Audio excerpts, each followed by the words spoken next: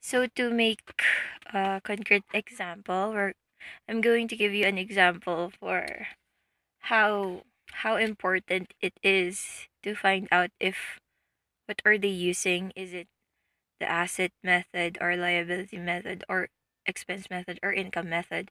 So if you're going to see you can see the word nominal account. What does that mean? It's either income method or expense method. So here on September 1, 2018, P Company receives uh, a 800,000 9% four-year note. Principal of 200k plus interest is collected every August 30. All interest collected are recorded using nominal account. Okay, so may I ask, did ikaw ba yung nagpa-utang or ikaw yung nangutang? Siyempre, ikaw yung nangut ikaw yung nagpa-utang. Okay. Kasi ikaw yung nag-receive ng note, so sila yung may utang sa'yo. Okay. So, kung ganito, gagawa tayo ng adjusting entry at the end of the year. So, what is your adjusting entry? So, ulit. So, September 1, di ba? September 1, ang principal is 800,000. 9%. Okay. So, ganito siya. Adjusting entries at the end of the month. Diba is, ang kinecredit niya is nominal account. Diba? Kasi, ang ginagawa niya muna is, pag natatanggap niya yung cash ng interest, it is interest receivable. Tapos, interest income, uh, interest receivable. Well, tapos interest income. Income. Okay. So, ano ulit yun? Nominal. Account. Ano ulit yung focus natin pag nominal account? Ang focus natin is yung real account.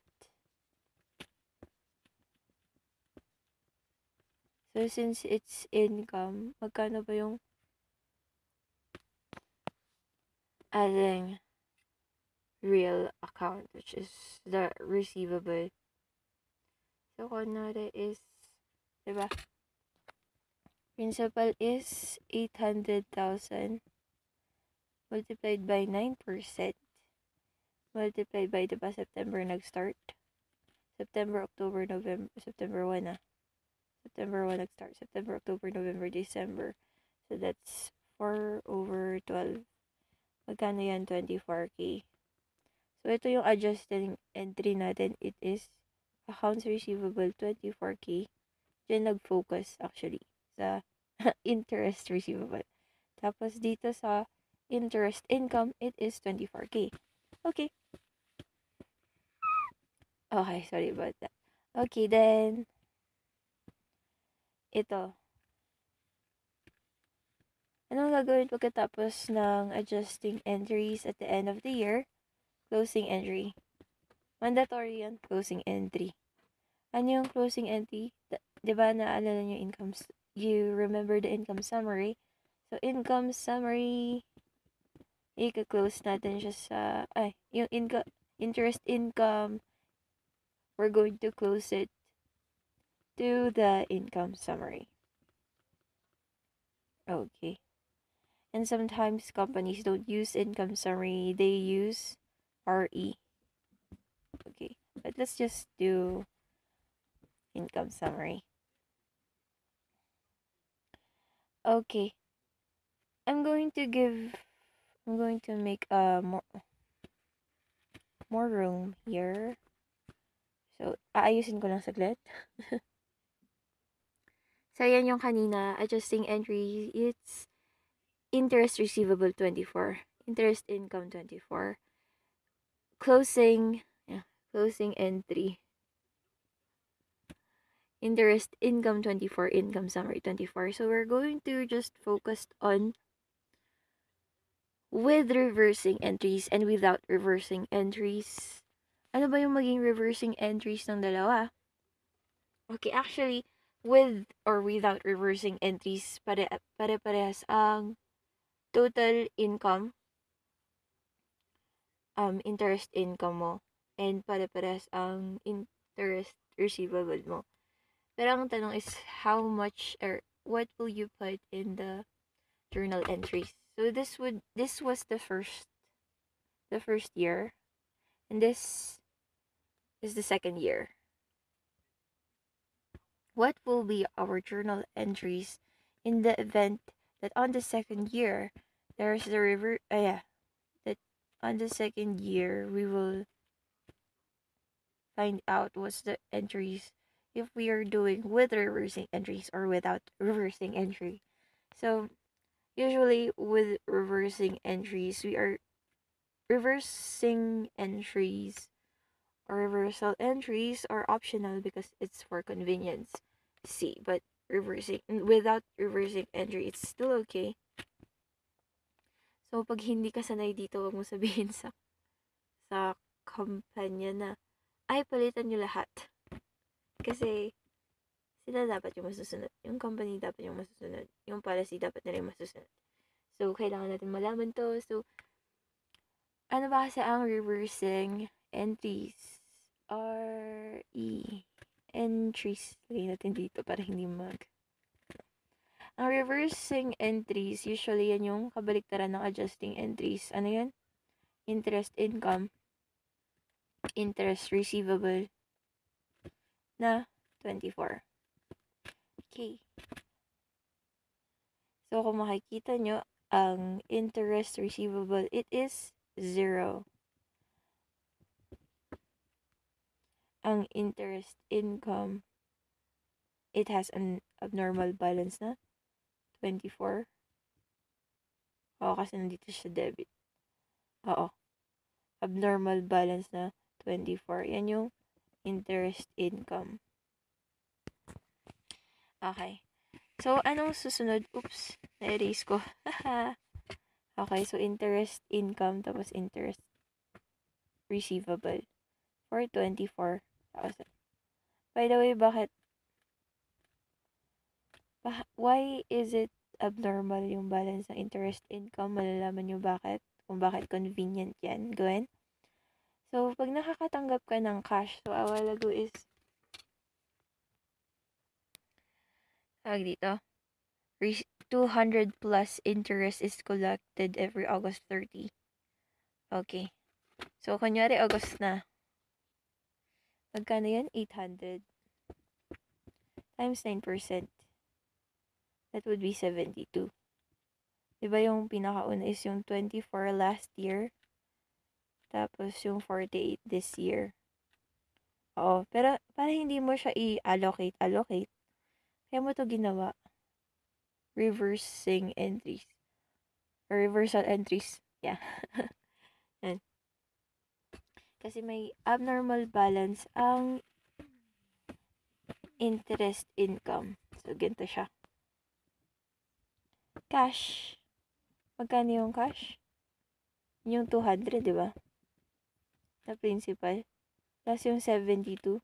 And yung 800 times 9%. Magkano yun? 272. Okay. Tapos, interest income, idiretso mo na siya. Hindi mo na siya kailangan. I, ah, sorry. It's not 24, it is 72. Hindi ko nga siya allocated. Yan. It is 72. Yan. Tapos, syempre, note receivable na 200. Okay. So, mas papaliitin ko siya para mas magkasya. So, yan siya. Cash 272, interest income 72 NR. So, as of August 30, magkano ang interest income natin? Since may abnormal balance siyang 24 dahil sa dahil sa reversing entries And then, we're going to add 72 yung nakolekta natin. So, 48. Which is tama. Kasi yung 24 yun sa last year. So, 48. Tama pa rin. Ang balance ng interest income. So, yan yung convenience ng pagkakaroon ng reversing entries. Yan. So, syempre yan yung from, yun yung August 30. We still have to recognize interest income at the end of the year. So, we're going to, yeah, do that. Interest income, interest, oh, sorry. Interest receivable, interest income. How much? So, hindi na 800 yung principal, 600 na siya. Times 9%, times ilang months ulit yun. So, September, October, November, December, 4. 4 over 12. Okay, computing na natin. Kailangan natin ng calculator, syempre. 600 times 9% times 4 over 12. Okay, so 18 siya. 18. 18. Okay, so yan na. Ito na, ito na nga. Yan. Oops, naka 22. Okay. So, yan yung sa second year. Compute natin kung magkano yung interest income na na-record mo. Interest income is negative 24. Yun yung bal negative balance. Plus 72. Yun yung na-receive mo, yung 800 times 9%. Okay. Tapos yung 18 plus 18. Magkano lahat ng interest income? So, negative 24 plus 72 plus 18. Yan yung 66. 66. Ayan. Lagyan natin dito sa side dito ah. Interest income 66. Oo, kailangan natin yan mamaya. Okay, next. Magkano ang interest receivable? Siyempre, 18. Interest interest receivable 18. Yun yun, no? Oo, bakit, bakit to? Anong ginawa mo dito? Yun. Kasi last year, di ba 24. Tapos ni-reversal entry, so magiging 0 na siya. So, parang 24. Minus yung ni-reversal entry natin na 0. Ah, na 24. So, plus 18 equals 18. Yan. Yung kagandahan ng reversal entries. Okay. Next, dito na tayo sa without reversal, reversing entries. Okay. Without reversing entries, kung makikita nyo, ito yung ginawa natin. Interest receivable, eh, and interest income na 24 closing entries, i-close natin sa income summary. So, pag without reversing entries, ang interest receivable pa rin natin is 24. Wow, kasi siya lang yung magsistay sa balance sheet. So, ano yung maging una natin since wala na siyang reversal entries, yung cash collection na siya. Ganun pa rin, cash. Kagayahin lang natin to actually. Cash, 272. Interest, income, 72. Notes, note receivable, 200. Dito na tayo sa susunod. Okay. So, magkano ba talaga dapat ang interest receivable natin at the end? 18. Magkano ang dapat na interest income natin? 16. So, tandaan. Magkano to? 72. Magkano dapat? 66. So, babawasan natin yung interest income.